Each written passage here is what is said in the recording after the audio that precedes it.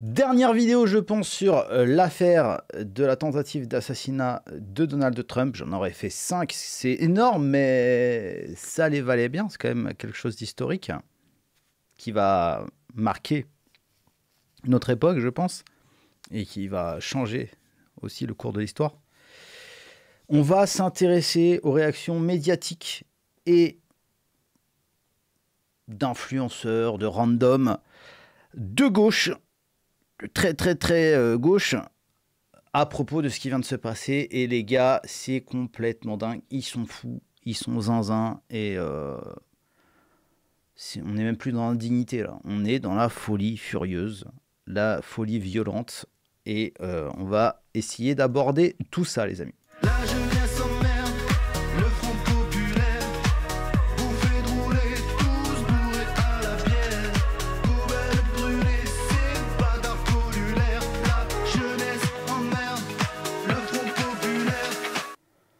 Les amis, on va commencer par vous présenter. Je vais vous présenter un concept que vous ne connaissez peut-être pas. Ça s'appelle le Trump Derangement Syndrome, c'est-à-dire le euh, syndrome du dérangement trumpien euh, à cause de Trump. Ok, on est dérangé à cause de Trump. On est un peu fou. On va voir déjà ce qui peut agiter ce dérangement. On va le définir d'abord. Le syndrome de dérangement de Trump est un terme péjoratif. Alors TDS, non, je confondais avec euh, les euh, syndromes post-traumatiques, etc. Ça n'a rien à voir. Ok. Est un terme péjoratif généralement utilisé pour désigner des critiques ou des réactions négatives à l'égard de l'ancien président des États-Unis, Donald Trump, qui sont perçues comme irrationnelles et comme peu respectueuses des positions politiques réelles de Trump ou des actions entreprises par son administration. Le terme a principalement, été utilisé par les partisans de Trump pour discréditer les critiques à son encontre, afin de recadrer le débat en suggérant que ses adversaires sont incapables de percevoir le monde avec précision. Certains journalistes ont utilisé ce terme pour appeler à la retenue lorsqu'ils jugent les déclarations et les actions de Trump. Malgré l'utilisation du terme syndrome suggérant une condition médicale, le TDS n'est pas un diagnostic médical officiel. Une étude de 2021 n'a trouvé aucune preuve étayant l'existence du TDS parmi les détracteurs de Trump à gauche. Ok, donc en gros, c'est un terme qui est à la fois, enfin qui est utilisé par l'extrême droite pour discréditer les gens et les faire passer pour des hystériques, d'accord Bon, ça c'est le bon côté, on va dire, pour nous.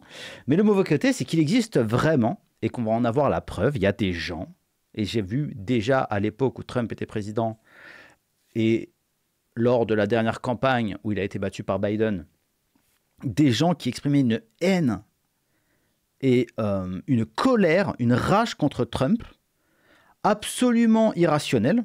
Et quand, c'était souvent des micro-trottoirs, des choses comme ça, et quand l'intervieweur demande à la personne mais pourquoi, ils disent bah, parce qu'il est raciste, parce qu'il est contre les minorités, il est contre les femmes. Et là, les gens ils disent, l'intervieweur demande mais qu'est-ce qu'il a fait contre les minorités? Qu'est-ce qu'il a fait contre les femmes? Quelle est la loi euh, avec lesquelles il les a discriminés, harcelés ou je ne sais quoi?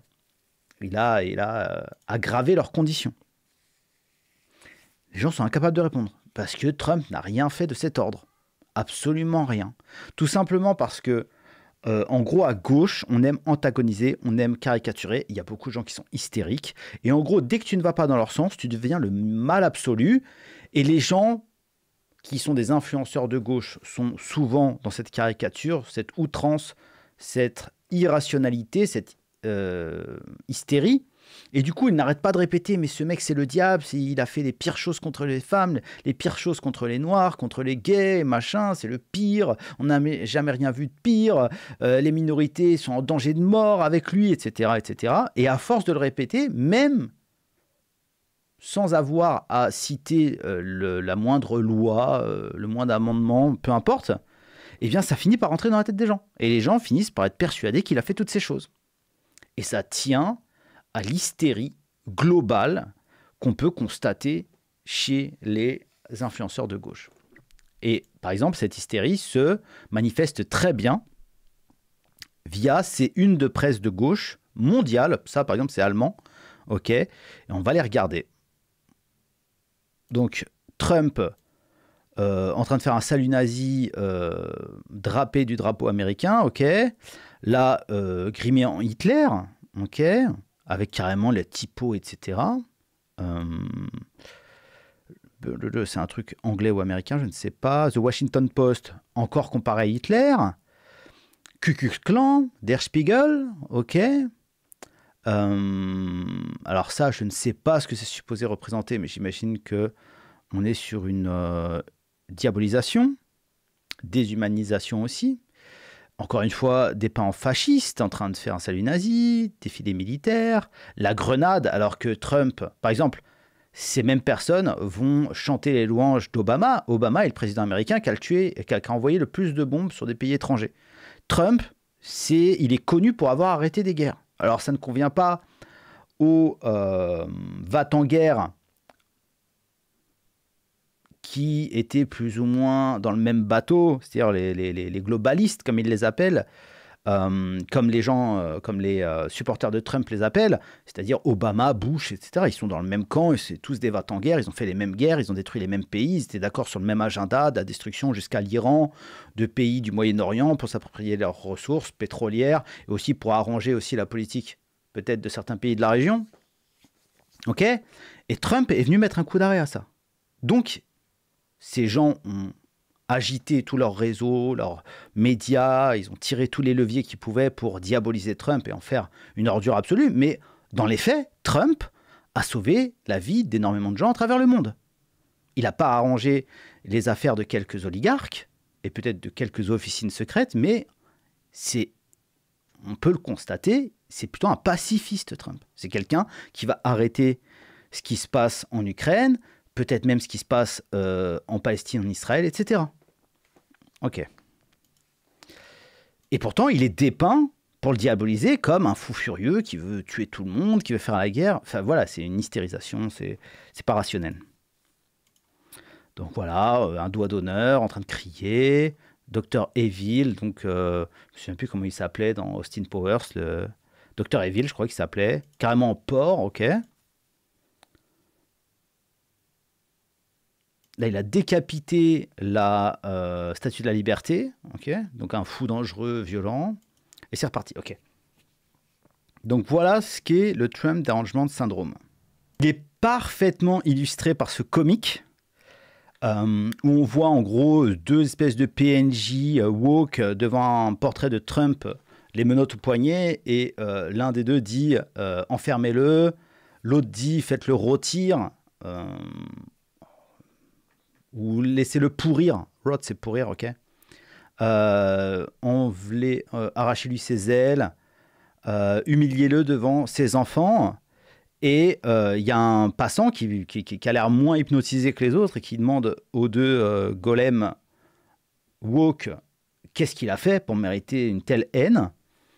Et les woke golems se retournent et disent Je ne sais pas, aucune idée. Et c'est vraiment ça c'est le quart d'heure de haine autorisée. Quand tu autorises les gens à haïr quelqu'un, que tu les encourages même et que tu leur dis vous avez le droit de le haïr, la haine, la colère, l'instinct de mort, la violence, ce sont des émotions, ce sont des émotions qui sont très faciles à mobiliser, surtout quand tu sais que tu ne risques rien. Ça va t'apporter au contraire du prestige, du pouvoir, des privilèges, parce que c'est ce qui se passe quand tu, euh, quand tu libères une haine de gauche, généralement tu es récompensé.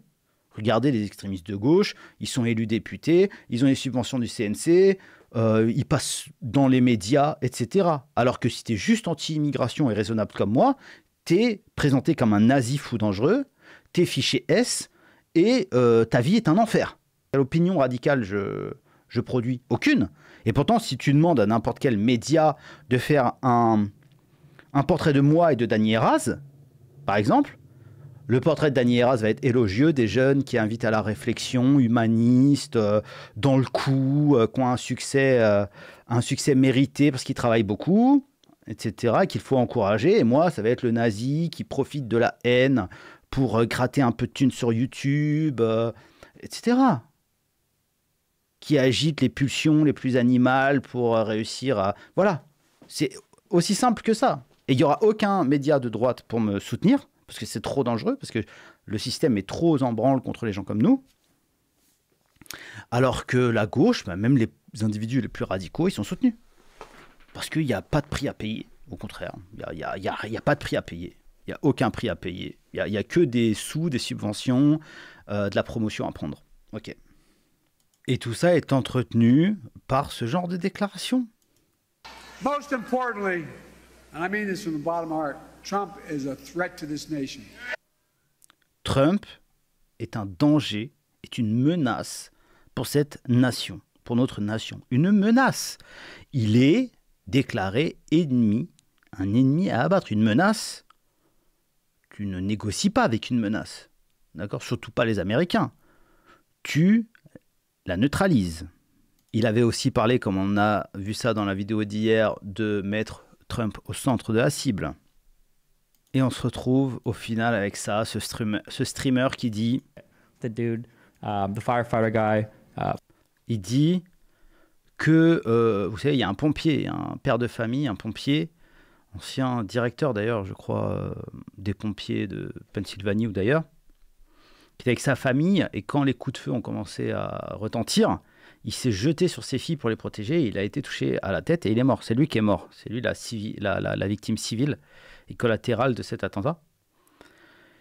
Et lui, il est en train de dire je l'emmerde, je m'en fous en fait. Voilà. Trump, the people that support him.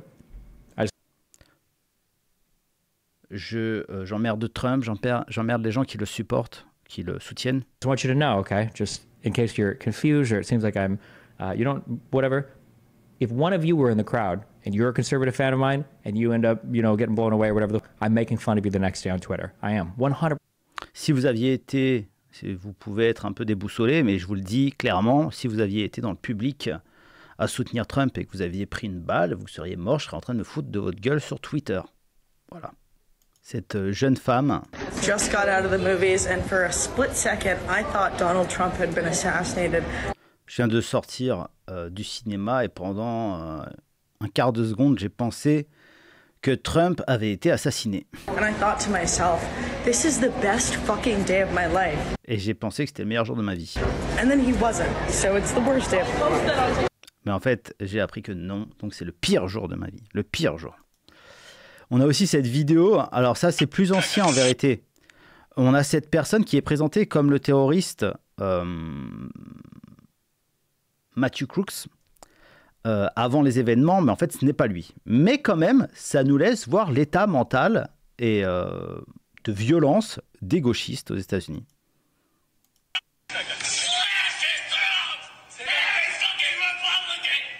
Je déteste les républicains, on devrait vous égorger.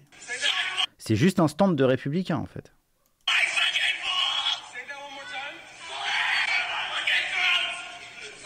Donc, faudrait vous égorger, faudrait vous égorger, je vous déteste vos euh, gorges de fascistes. Égorger, enfin ouvrir vos gorges de fascistes. D'accord. Voilà. Voilà.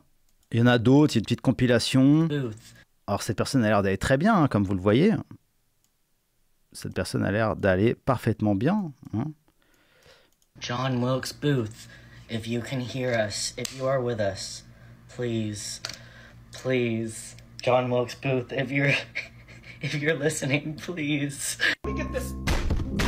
Let me get this straight. Dumbass! You have a fully reloaded shotgun, but you chose to use a one bullet. We're not even sending. Alors, si quelqu'un qui est en train de hurler et dire ouais t'as raté toutes tes balles espèce de bon à rien en gros crie sur le sur le sur Matthew Crooks our best to fucking assassinate Cause what the hell was that? Lee Harvey Oswald would never, bitch. John Wilkes Booth would never. Ah donc, donc John Wilkes Booth, c'est j'imagine quelqu'un qui a tué un président ou qui a fait un attentat, parce qu'elle euh, cite euh, John Wilkes Booth, c'est que cette personne-là avait cité aussi, euh, comme des références, et dit, là elle est en train de dire que Lee Oswald et John Wilkes Booth, que je ne connais pas, n'auraient pas raté eux. Euh, voilà, Will Never Miss, j'imagine. Ok. Euh, donc voilà. Ils sont tous en train de dire ah, quel dommage. Ils sont énervés parce qu'il a raté. Ils sont énervés parce qu'il a raté. À la limite, ils pourraient faire une blague, genre oh là là, c'est dommage. C'est dommage qu'il n'ait pas pris à tirer euh, au stand de tir avec les rednecks. Notre Matthew Crook, oh là là, quel dommage qu'il n'ait pas été un bon petit euh, soldat euh, des stands de tir. Voilà, un truc comme ça, genre euh, se moquer de, de, cette volonté des, des droitards aux États-Unis de s'armer, de garder les armes, etc., et de s'entraîner, d'être avec les milices, etc. Il aurait pu faire une blague là-dessus. Non, ils sont vraiment énervés, premier degré. Ah, mais c'est pas possible Allez, pourquoi il l'a pas tué Tu m'es enculé. C'est cauchemardesque. Today was like this close to being the best day ever. Donc on n'est pas passé loin d'avoir le meilleur jour, enfin la meilleure journée de tous les temps. Also, the person that at Trump at his rally was exercising that right that all those Republicans were fighting for. So, can you really blame him? John Wilkes Donc elle, elle dit, voilà, c'est euh, euh, le mec qui a tiré sur Trump, il s'entraînait avec euh, des républicains qui aiment aller tirer sur des cibles, etc. Donc est-ce qu'on peut lui en vouloir? Bon, ça n'a pas vraiment de sens, mais voilà, c'est une réflexion de, de gauchiste. On va écouter cette jeune femme. I just found out about this shit. It just happened. I haven't even had a second to process. You're telling me somebody finally had the balls to bring a pew pew and he missed! We were away! We were a centimeter away from half of the problem being gone! Donc voilà, hystérie parce qu'il a raté. euh, hein, on est passé à un centimètre de résoudre le problème et il a raté. Aïe, aïe, aïe, aïe, voilà. Des fous, ce sont des fous.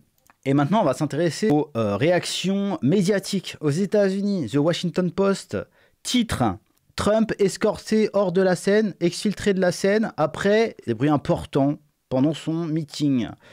Euh, ABC News, Donald Trump escorté euh, après euh, des gros bruits, ok NBC, les services secrets se ruent sur Trump, il exfiltre, euh, après que des détonations aient été entendues en Pennsylvanie. Newsweek, les MAGA, c'est-à-dire le camp de Trump, s'indignent après que Trump ait été blessé pendant un meeting en Pennsylvanie. Euh, là, je ne sais pas ce que c'est. USA Today, Trump exfiltré après des gros bruits. Et CNN, les services secrets euh, se ruent sur Trump après qu'il euh, soit tombé. C'est très petit pendant un rallye, voilà, pendant un meeting. Il ne parle pas d'attentat. A priori, les gens sont, ont couru sur Trump parce qu'il y a eu des bruits ou qu'il est tombé ou je ne sais pas quoi. Vous vous rendez compte? Alors Trump est responsable de tous les maux du monde. C'est une ordure dès qu'il bouge le petit doigt, des enfants meurent à travers le monde. Mais quand quelqu'un essaie de l'assassiner, ils n'en font même pas état. C'est normal en fait, c'est normal. Et pour finir, la une de Libération, Trump blessé, A History of Violence, c'est-à-dire une histoire de violence, comme si Trump était la cause principale de ce qui lui est arrivé, le seul responsable, et que limite il s'était tiré lui-même dessus à cause de tous ses excès, toutes ses outrances, que la balle que euh, la balle lui est revenue, que le boomerang lui est revenu dans la tête, en fait. Vous vous rendez compte quand même Vous vous rendez compte C'est complètement fou. Ces gens sont dingues. Euh, c'est un double standard permanent, diabolisation permanente. Ils excitent les déficients, les gens qui sont immatures, les idiots, les euh, hystériques qui constituent le plus gros euh, de leur euh, auditoire. Et ça va très mal finir. Parce que en plus, on leur dit que c'est moralement acceptable, c'est même valorisant moralement de détester, d'ailleurs, de vouloir annihiler, tuer les gens de droite. Mais vous croyez que les gens de droite, ils vont se laisser faire combien de temps? Vous croyez que combien de temps ça va durer Combien de temps ils vont baisser la tête? Au bout d'un moment, les gens de droite, vont dire non, on ne veut pas mourir, on ne veut pas finir dans des camps de concentration. On n'est pas des sous-humains, des sous-citoyens. Mais ils sont entrés dans cette spirale de la violence et de la haine, habitués à ne pas avoir à en payer le prix. Mais un jour, le prix, la note va être présentée. La note va être présentée. Et c'est pas pour rien qu'on voit surtout des femmes. Vous avez vu, on voit surtout des femmes se répandre dans cette haine et dans cette violence, qui normalement n'est pas leur domaine de compétence, la violence. En revanche, pour exciter les foules à la violence, pour inciter les hommes à la violence, les femmes ont toujours eu un rôle à jouer. Ça, on peut le remarquer. Je ne sais pas si elles vont réussir à mobiliser les hommes soja, mais en tout cas, les hommes de droite, eux, commencent à comprendre le danger, que c'est autre chose que de la simple hystérie, euh, des simples névroses, des simples troubles mentaux. C'est un peu plus que ça, et que ça nous menace. Ça menace nos vies, cette hystérie. C'est pas joué, ils sont vraiment fous. Ok? Je vous embrasse, mettez un pouce, un like, abonnez-vous, c'était Adam, vidéo sur Trump. À plus tard.